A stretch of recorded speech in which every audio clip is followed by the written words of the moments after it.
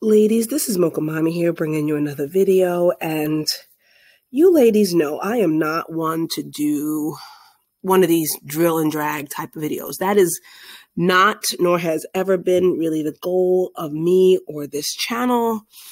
But um, I'm showing you a picture of a part of my yard. Okay, this is a picture of a part of my yard. And why why is this upsetting? I told you ladies in my last gardening videos that my husband is very particular about our yard waste.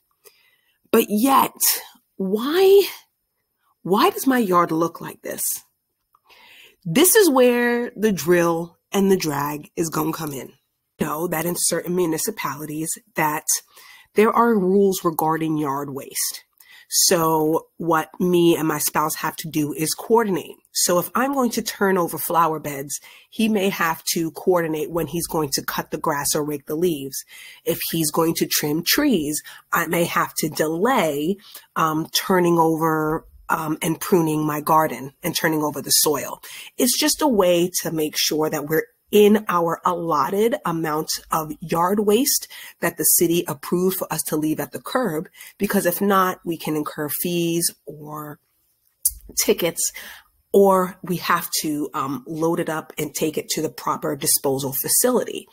So with this situation, we now are inconvenienced because we have a neighbor who has far exceeded the amount of yard waste that she is allotted because she does not have the help of the men in her family.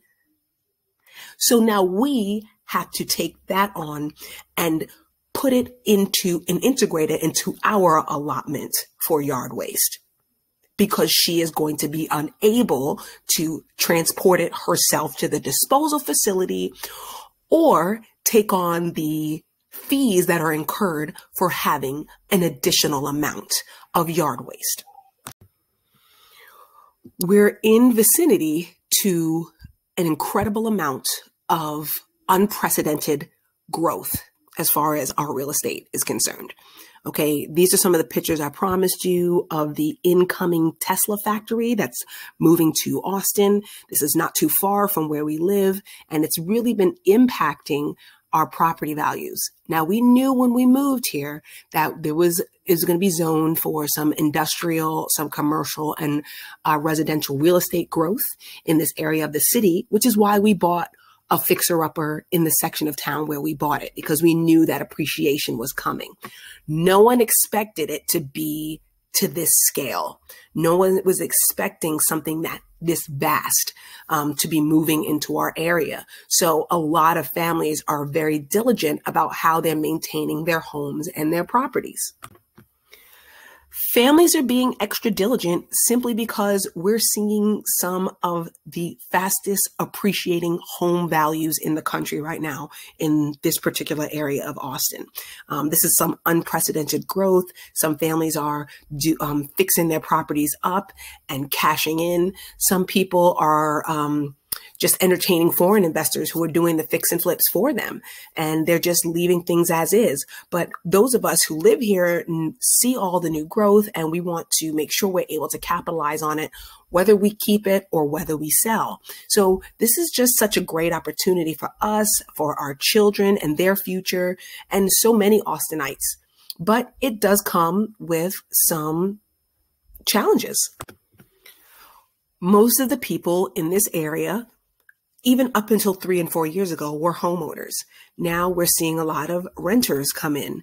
Um, we're seeing a lot of foreign investors and out of state investors buy up a lot of these properties. Um, we're seeing increases in property tax because of the quick and growing home appreciation values.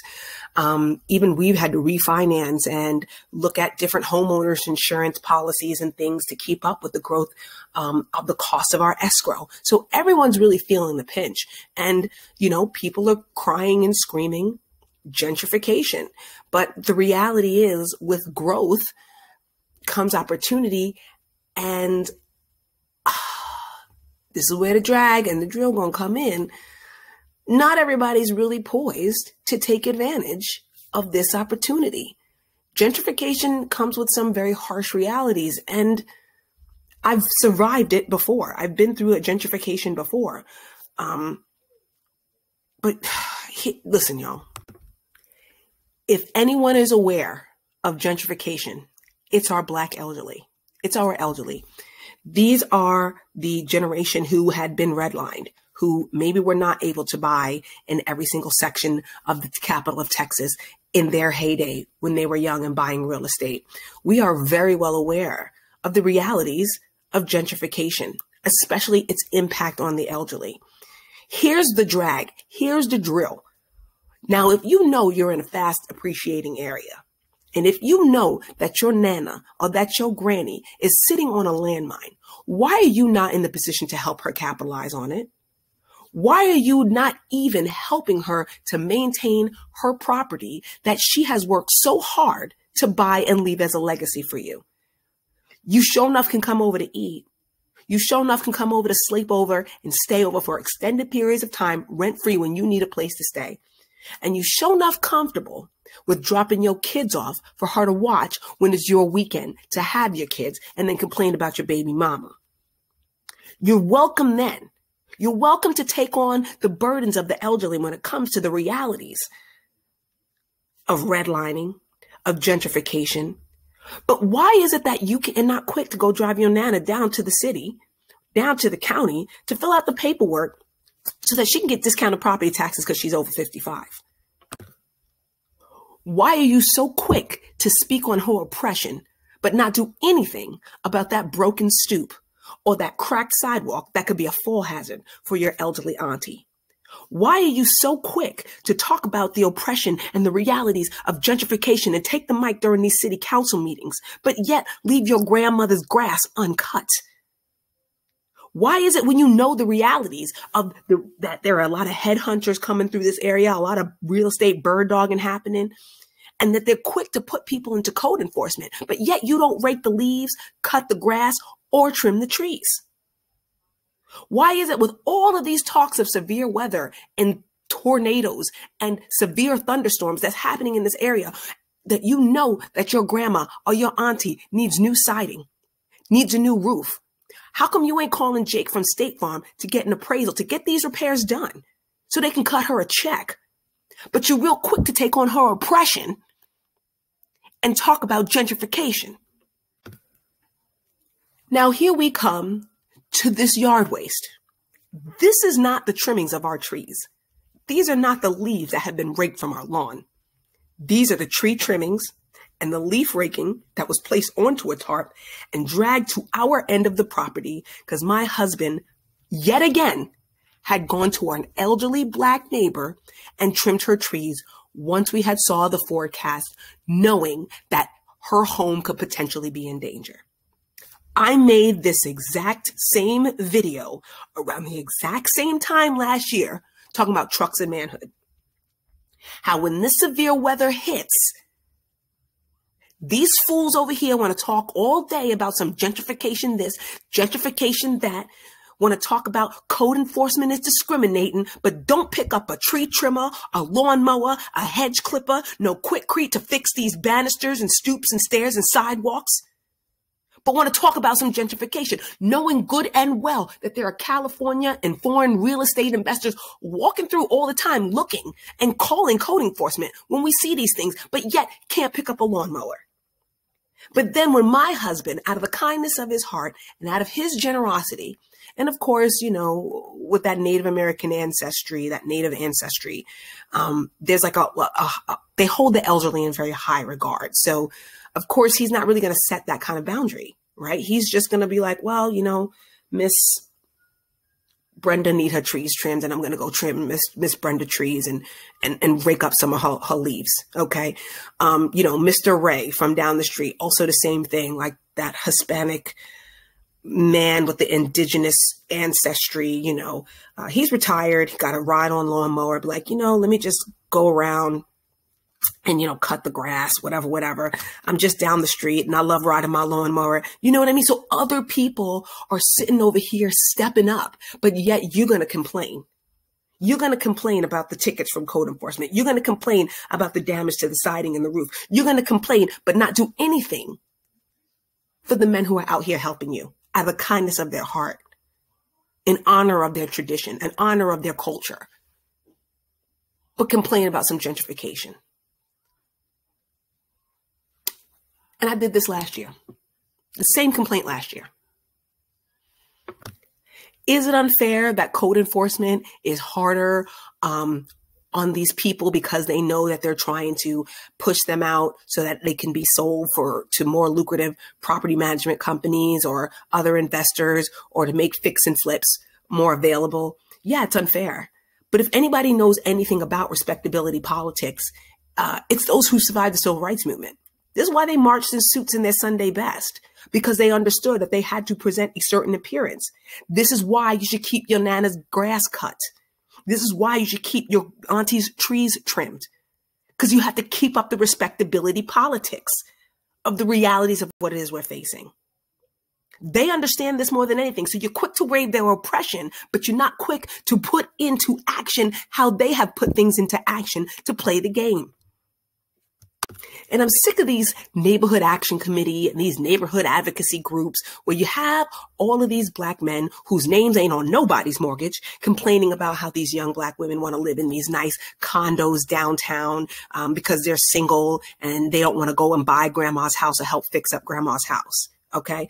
Or how these young families or single moms want to move out to these master plan communities with the nice pools and the nice neighborhoods and use these USDA first time home buyer grants that, you know, put master plan communities and subdivisions on converted farmland because they can give their kids safer schools and safer neighborhoods and their dollar goes further.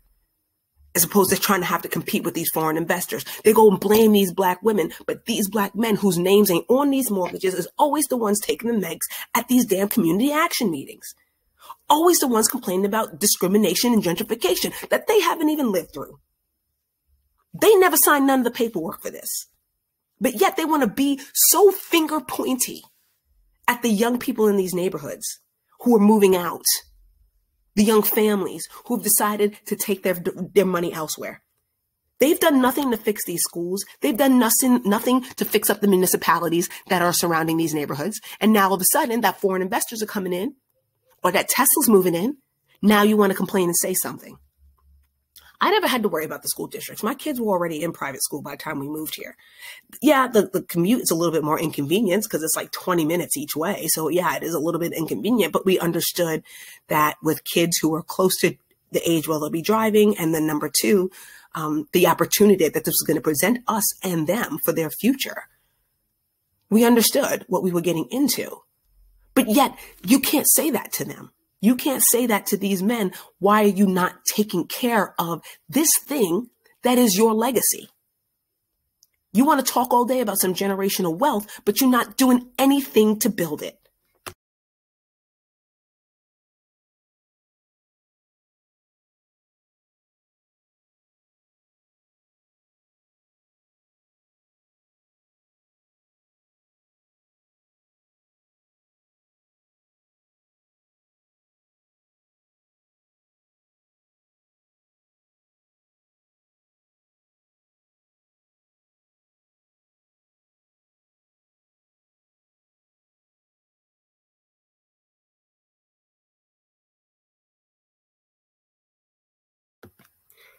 Here they are complaining about how winter is coming for black women. It damn sure is coming for black women.